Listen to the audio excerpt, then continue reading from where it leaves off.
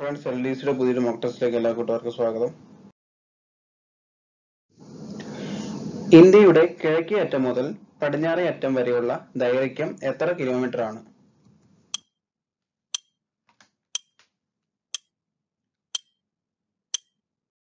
Answer option B രണ്ടായിരത്തി തൊള്ളായിരത്തി മുപ്പത്തി മൂന്ന് ഇന്ത്യയുടെ കിഴക്കേ അറ്റം മുതൽ പടിഞ്ഞാറേ അറ്റം വരെയുള്ള ദൈർഘ്യം എത്ര കിലോമീറ്റർ ആണ്?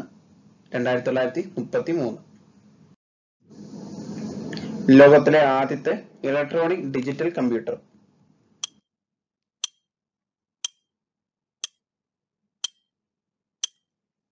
answer option D ENIAC.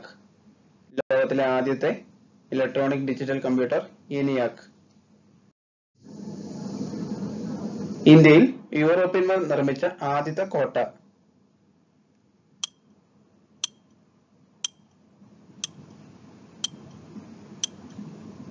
Answer option A Kochi കോട്ട ഇന്ത്യയിൽ യൂറോപ്യന്മാർ നിർമ്മിച്ച ആദ്യത്തെ കോട്ട കൊച്ചി കോട്ട ഏത് സംസ്ഥാനത്തെ ആദ്യത്തെ വിമ വിമാനത്താവളമാണ് Pakyong?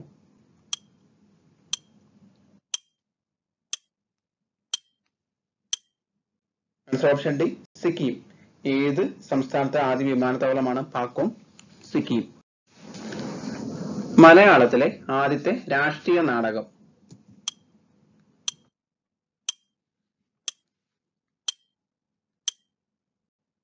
Option D Pattabakki. മലയാളത്തിലെ ആദ്യത്തെ രാഷ്ട്രീയ നാടകം പാട്ടാബാക്കി. രണ്ടായിരത്തി പത്തൊമ്പതിലെ വയലാർ അവാർഡ് ജേതാവ്.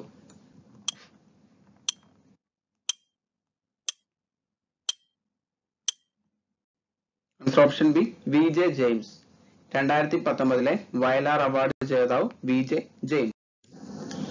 ക്രൈസ്തവ കാളിദാസൻ എന്നറിയപ്പെട്ടത്.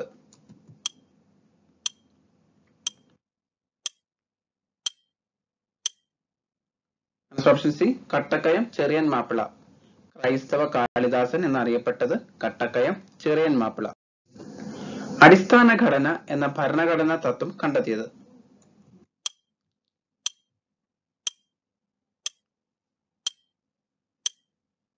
ആൻസർ ഓപ്ഷൻ ബി ജുഡീഷ്യറി അടിസ്ഥാന ഘടന എന്ന ഭരണഘടനാ തത്വം കണ്ടെത്തിയത് ജുഡീഷ്യറി ഇന്ത്യയിലെ ഏറ്റവും നീളം കൂടിയ ഇടനാഴി എവിടെയാണ്?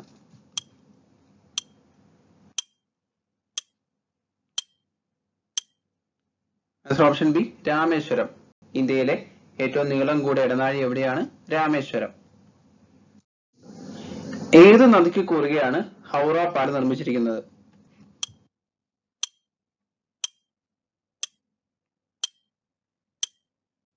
ആൻസർ ഓപ്ഷൻ സി ഹൂഗ്ലി ഏത് നദിക്ക് കുറുകെയാണ് ഹൗറ പാലം നിർമ്മിച്ചിരിക്കുന്നത്? ഹൂഗ്ലി കഥക് നൃത്തം ഉത്ഭവിച്ചത് എവിടെയാണ്?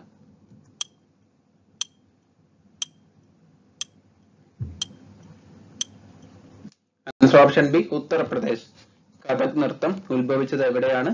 ഉത്തർപ്രദേശ് ആയിരത്തി തൊള്ളായിരത്തി പന്ത്രണ്ടിൽ ജനഗണമന എന്ത് ശീർഷകത്തിലാണ്?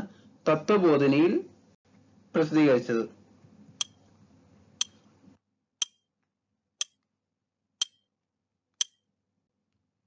ഭാരത് വിധാത ആയിരത്തി തൊള്ളായിരത്തി പന്ത്രണ്ടിൽ ജനഗണമന ഏത് എന്ത് ശീർഷകത്തിലാണ് തത്വബോധനയിൽ പ്രസിദ്ധീകരിച്ചത്? ഭാരത് വിധാത.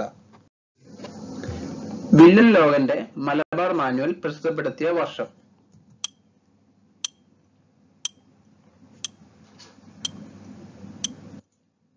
ഓപ്ഷൻ ഡി ആയിരത്തി എണ്ണൂറ്റി എൺപത്തി ഏഴ് വില്യൻ ലോകന്റെ മലബാർ മാനുവൽ പ്രസിദ്ധപ്പെടുത്തിയ വർഷം ആയിരത്തി എണ്ണൂറ്റി എൺപത്തി ഏഴ് മുഗൾ ഭരണകാലത്തെ ഔദ്യോഗിക ഭാഷ.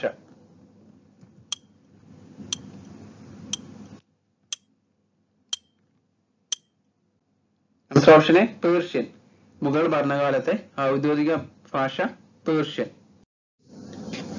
ഭാരതരംഗം നേടിയ ആദ്യ ഇന്ത്യൻ പ്രധാനമന്ത്രി.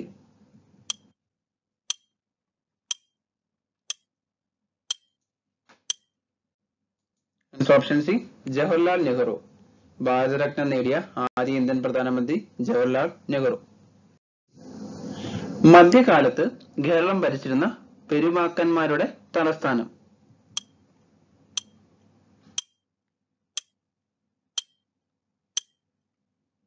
Option C Mahadevapuram. മധ്യകാലത്ത് കേരളം ഭരിച്ചിരുന്ന പെരുമാക്കന്മാരുടെ തലസ്ഥാനം മഹാദേവപുരം. ഇന്ത്യൻ പീനൽ കോഡിന്റെ ഉപജ്ഞാതാക്കൾ.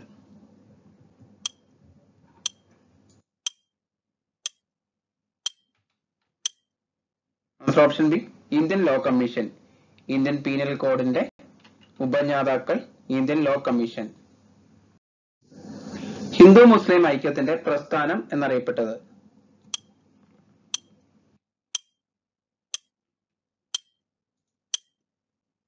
ആൻസർ ഓപ്ഷൻ ബി ഗിലാഫത്ത് പ്രസ്ഥാനം.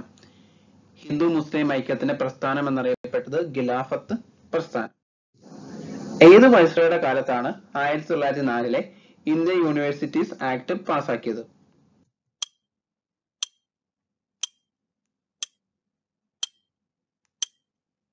ആൻസർ ഓപ്ഷൻ ബി കഴ്സൺ ഏത് വൈസ്രോയുടെ കാലത്താണ് ആയിരത്തി തൊള്ളായിരത്തി നാലിലെ ഇന്ത്യൻ യൂണിവേഴ്സിറ്റീസ് ആക്ട് പാസാക്കിയത്?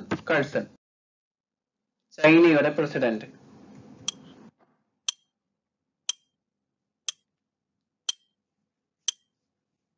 Option B Xi Jinping ചൈനയുടെ president Xi Jinping south Indian liberal federation ഏത് പേരിലാണ് പരക്കെ അറിയപ്പെട്ടത്?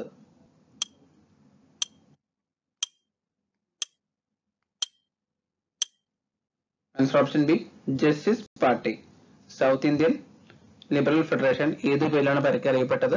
ജസ്റ്റിസ് പാർട്ടി ഭരണഘടനയുടെ മുന്നൂറ്റി എഴുപത്തി ഒന്ന് എ എഫ് അനുച്ഛേദം ഏത് സംസ്ഥാനമായി ബന്ധപ്പെട്ടിരിക്കുന്നു?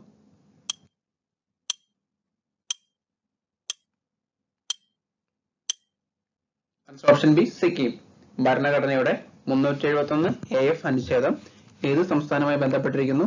സിക്കിം ഏത് കോൺഗ്രസ് സമ്മേളനത്തിലാണ് പ്രവർത്തകർ ഖാദി ധരിക്കണമെന്ന് നിർബന്ധന കൊണ്ടുവന്നത്?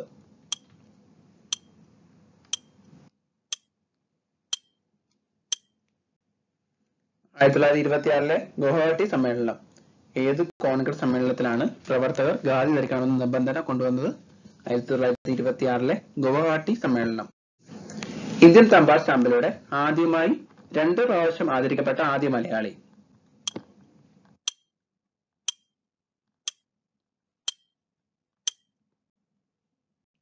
കെ കൃഷ്ണമേനോൻ ഇന്ത്യൻ തപാൽ സ്റ്റാമ്പിലൂടെ ആദ്യമായി രണ്ട് പ്രാവശ്യം ആദരിക്കപ്പെട്ട മലയാളി വി കെ കൃഷ്ണമേനോൻ അക്ബറുടെ ഭരണ സംവിധാനത്തിന്റെ ഉരുക്ക് ചട്ടക്കൂട് എന്ന് വിശേഷിക്കപ്പെട്ടത്.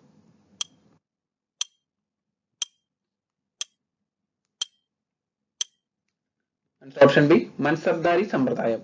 അക്ബറുടെ ഭരണ സംവിധാനത്തിന്റെ ഉരുക്ക് ചട്ടക്കൂട് എന്ന് വിശേഷിക്കപ്പെട്ടത് മൻസബ്ദാരി സമ്പ്രദായം. വീഡിയോ ഇഷ്ടമായെങ്കിൽ ലൈക്ക് ചെയ്യുക കൂടുതൽ വീഡിയോസിനായി ചാനൽ സബ്സ്ക്രൈബ് ചെയ്യുക താങ്ക്